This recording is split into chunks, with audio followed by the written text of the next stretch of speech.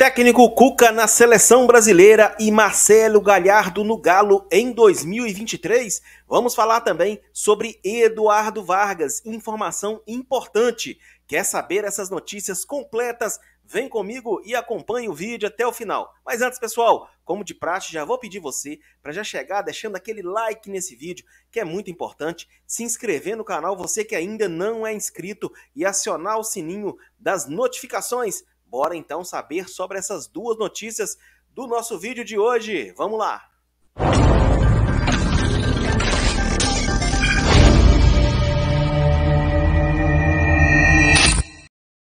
É galera, primeira notícia aí do vídeo de hoje é sobre Eduardo Vargas, isso mesmo. Vou colocar quem trouxe a notícia e dar os créditos para quem é de direito.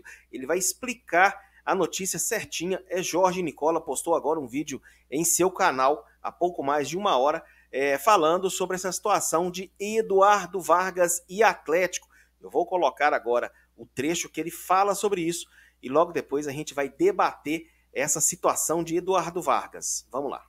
Quero falar agora sobre Eduardo Vargas. Estou contando para vocês que a situação do chileno de 32 anos de idade anda bastante ruim no Galo.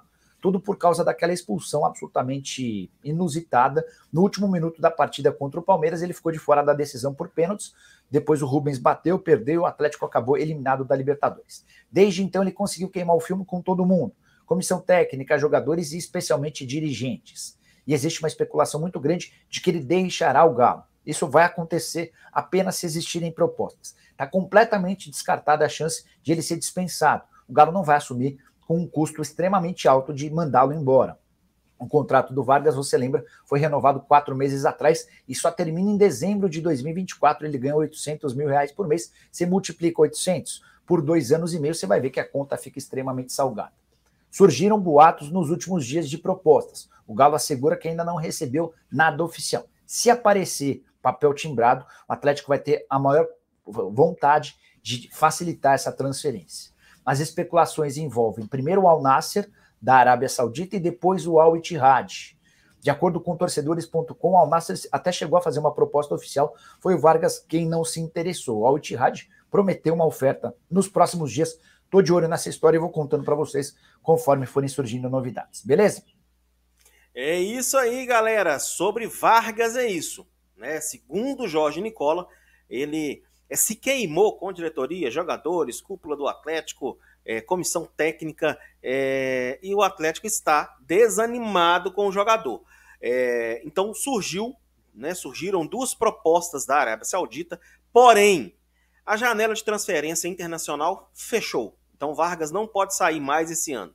Fechou segunda-feira, dia 15.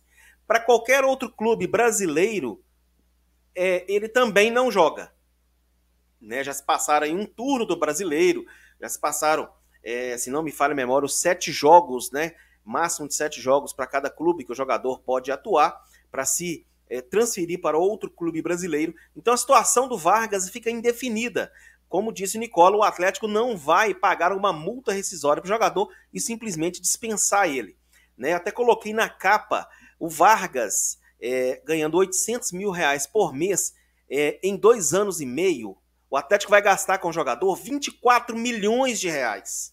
É um valor muito alto para um jogador que não dá o seu sangue dentro de campo, para um jogador que não tem um retorno dentro das quatro linhas para o Atlético. Ah, muita gente critica ele, no ano passado ele ajudou muito. Ele ajudou, mas nem tanto assim.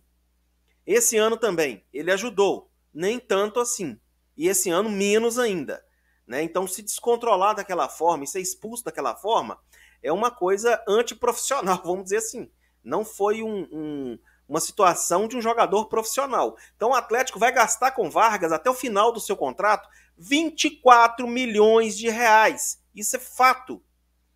Então Vargas, a situação dele é indefinida no Atlético se, se vai ser aproveitado ou não. Acredito até que vai entrar em algumas partidas, mas como disse Jorge Nicola, o seu fim está queimado dentro do Atlético mas para ele sair agora é uma situação muito difícil. Janela de transferência internacional fechada e para ele jogar em outro clube brasileiro, devido ao número de partidas que ele já jogou pelo Atlético, é muito difícil. Então Vargas vai continuar no Atlético, queira a diretoria ou não, queira o torcedor ou não. Essa era a primeira notícia do nosso vídeo de hoje. Partiu agora falar sobre Marcelo Galhardo. Cuca vai para a seleção? Galhardo será o novo treinador do Atlético em 2023? Vamos ver a próxima notícia do vídeo de hoje. Vamos lá.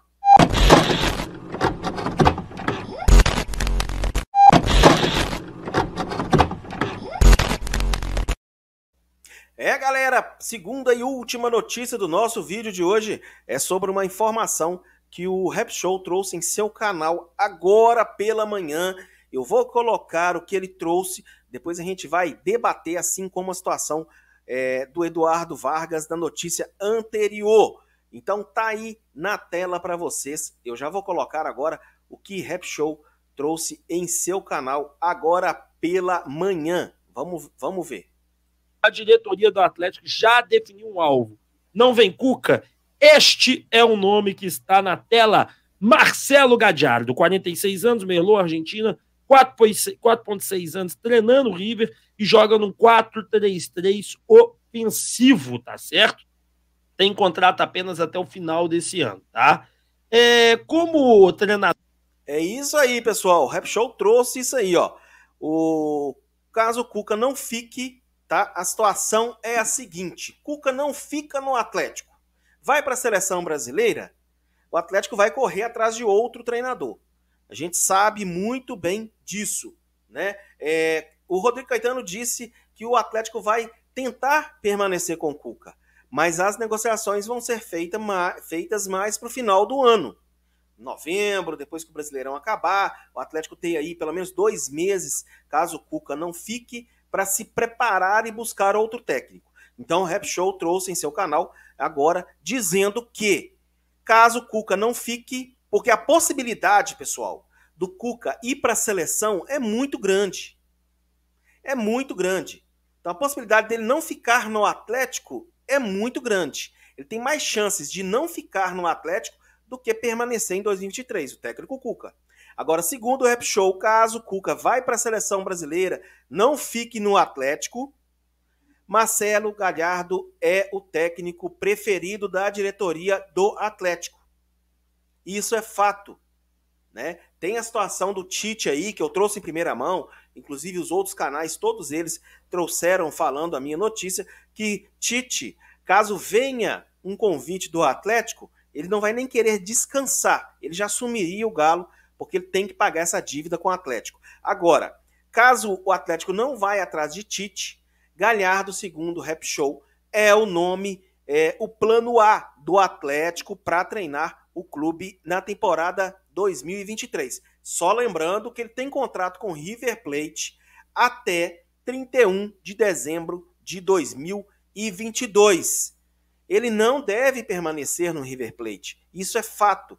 É um técnico jovem apenas 46 anos de idade, campeão no Uruguai, campeão na Argentina, da Recopa, da Supercopa, campeão da Libertadores. Então, é um treinador jovem e multicampeão. Então, essa é a situação, segundo o Rap Show do canal Alvinegro. É, caso Cuca não fique no Atlético e vai para a seleção brasileira, Galhardo é o nome preferido da diretoria para assumir o Atlético em 2023. Só lembrando que o seu salário, a pedida do, do técnico para sair do River, das sondagens que ele recebeu, seria aí entre 2 milhões e meio, entre 2,3 e 2 milhões e meio de reais por mês. Seria aí o maior salário é, do Brasil caso ele viesse para o Atlético. Né? Cuca não ficasse lá e o Atlético acertasse com ele. Marcelo Galhardo é, pediu em torno aí de 2,3 a 2,5 milhões de reais por mês, ele e sua comissão técnica. Então, galera, esse era o nosso vídeo de hoje. E para você ficar muito bem informado sobre tudo o que acontece no Galão da Massa, não se esqueça, se inscreva no canal e acione o sininho das notificações. Obrigado por acompanhar o vídeo até o final. Forte abraço, aqui é Galo.